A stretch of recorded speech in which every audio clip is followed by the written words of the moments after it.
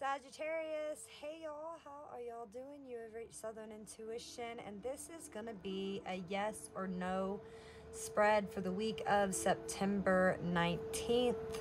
I will pull three rows of 13 cards. If I pull an ace in each three rows, it'll represent a yes. If you get three yeses, your answer is most likely yes. If you get two aces, your answer is, well, yes. Um, if you get one, it could be a maybe. Uh, and we'll read about the energies that we see. And I'll pull an oracle or two. This is a general read. It may, it may not resonate for everyone. But Saggy, I believe everything connects eventually. So if it is your message to hear, you'll do so. And then please like, share, and subscribe. Oh. A little bit of a side pull here because it just wanted to come out. It looks like you are considering being single. Uh, something's changing in a connection that might have once been stable. You're kind of curious about something new. If that uh, resonates, cool. Mm, yeah, you're ready to take a break from some sort of situation. Tired of dealing with it, maybe. All right, let's get three shuffles for the sign of Sagittarius. Sun, Moon, Rising, Venus sign. Saggy, Saggy, Saggy.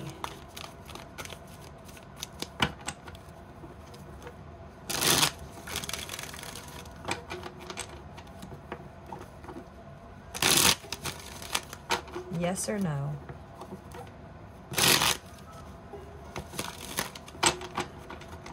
What does Saggy need to hear?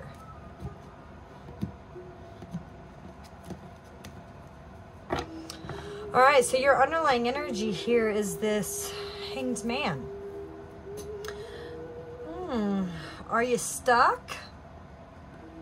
I mean, it doesn't necessarily mean that you are, but you are. Your hands are tied here. Um, and you can no longer struggle to really get out of this situation. You're, you're at a crossroads and you might feel like you're a little bit paralyzed, but if you surrender to the way things are, I believe a solution will come at the perfect time.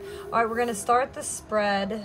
We'll pull 13 cards or until I get an ace. High Priestess energy, putting your inner control freak to rest. Lots of communication. Oh, it's your choice here. There is a connection. Hermetizing yourself here just a little bit. The hermit energy.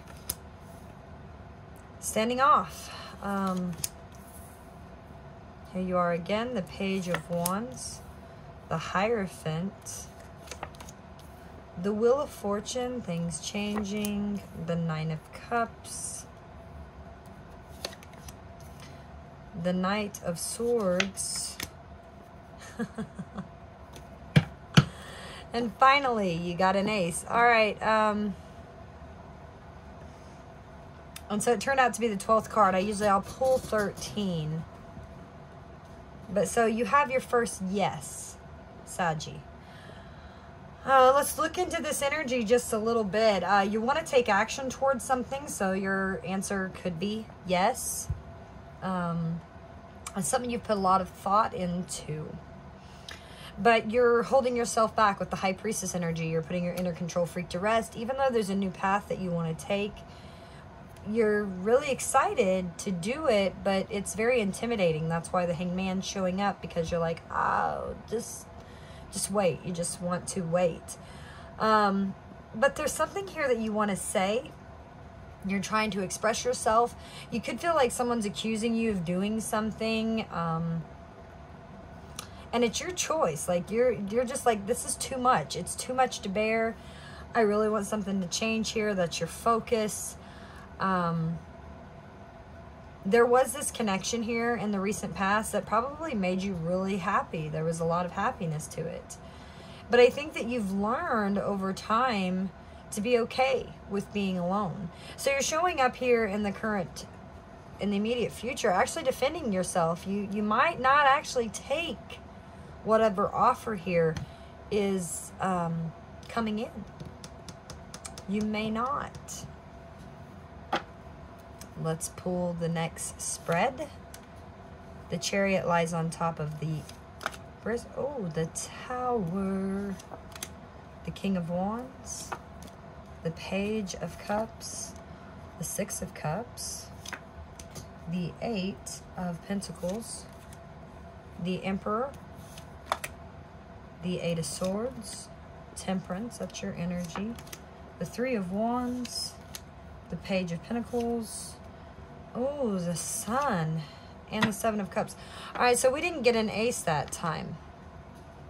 Um, you're looking at your other options here. Yeah, there's an offer here. You're wanting to offer someone here in your past um, some some sort of offer of stability. And I see you taking action. I see you in control, moving towards this energy. You could be a little domineering about it. But the problem is something's happening where all of a sudden phone calls might stop coming through. Um, somebody might go cold fish. And it's kind of leaving you a little bit trapped. Now, this could be you. It could be the other person here. But you're focused on, you know, the King of Wands. There you are, Saji, being in your power, being beautiful, being patient. Because that's probably something that you have learned and I see in the recent past you opened up emotionally. This is probably something that took a long time for you to actually do. But you're really thinking about somebody here that um, you having sweet memories about. You used to really care about this individual and you want to offer something. And I do see in the immediate future you working on this, but it's like you're beating your head against the wall. Because really, you just want to be happy. So it could imply, yes, you have another yes because you did get the sun energy, which is the happiest card in the deck, but I'm not sure. You might be looking at your other options here. So as of now, I'm still going to give it a maybe. We'll continue. Two of Cups. Two of Swords. Five of Swords. Oh, Eight of Cups the Four of Swords. Oh, the Three of Swords. The Judgment. Knight of Wands. Ten of Cups. Six of Swords. Page of Swords. Two of Wands. Five of Pentacles. Uh, okay, Saji. So again, with this stuck energy, you feel like you're not really communicating with someone and I think you're looking at your other options. We didn't get an ace this time, so we'll just kind of continue to look into it. There's still some sort of communication here. There's communication. There's something here that you want to take action towards. That's what I see. There's two people, and I mean, it might be a little bit of a harsh communication that's going on between you and someone else, a lot of back and forth. Um, someone's defensive, someone's trying to offer something, someone else is defensive. They're they're like very sharp with their communication. Um, and you're trying to take a break. I think you've healed from this. You're this has been something that's probably going on for a period of time.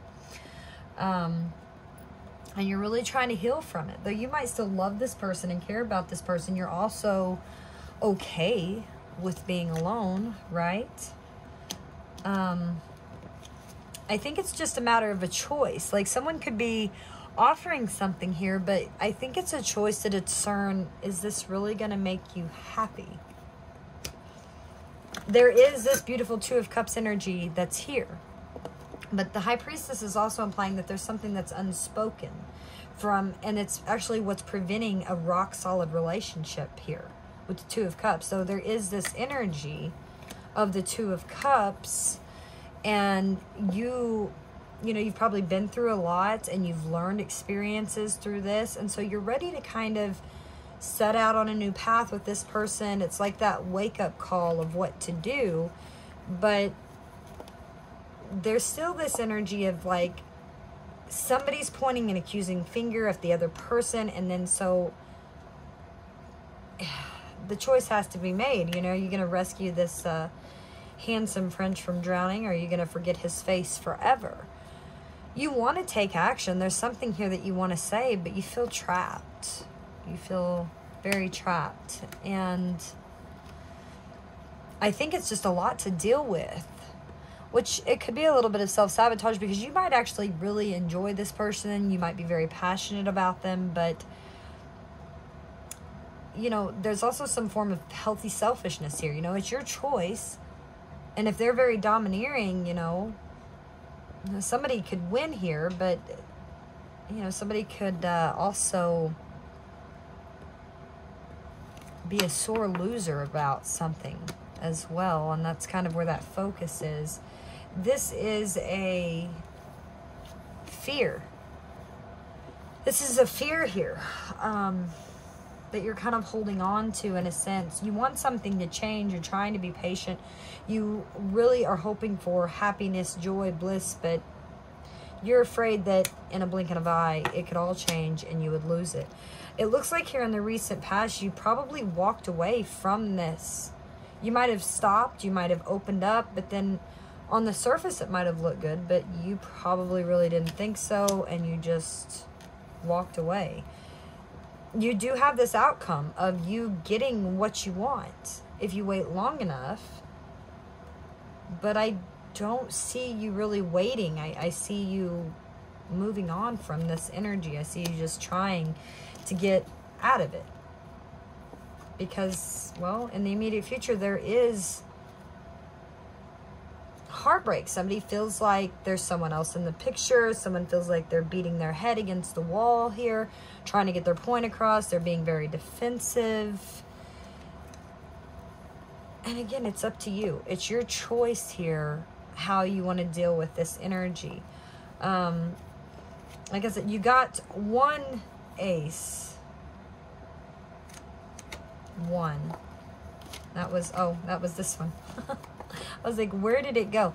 You got one ace. And you did get the sun, which is the yes. It's it's a yes. But I would look at this more of maybe. I think it's your choice. You know, first you've got to find happiness within yourself, Saji, and then you can um, move on. So pay attention to this uh, hanged man energy here.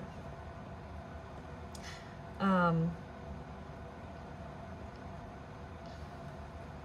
nobody really likes to get caught uh, doing something wrong, but it happens, you know, to all of us.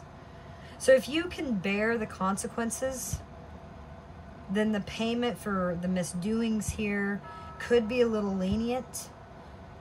And the lessons that you learn and you carry with you on after this situation will definitely be long lasting. So if you surrender to the inevitable here, that might provide you with an actual remarkable sense of relief. So you might have asked the question, will I hear from them again? Is this going anywhere? And maybe, but we all have free will. So just because some things aren't working out doesn't mean that you have to hang up the whole plan. You know, just take a break from the issue and focus more on your ideals that you aim for in the first place. And good luck with that.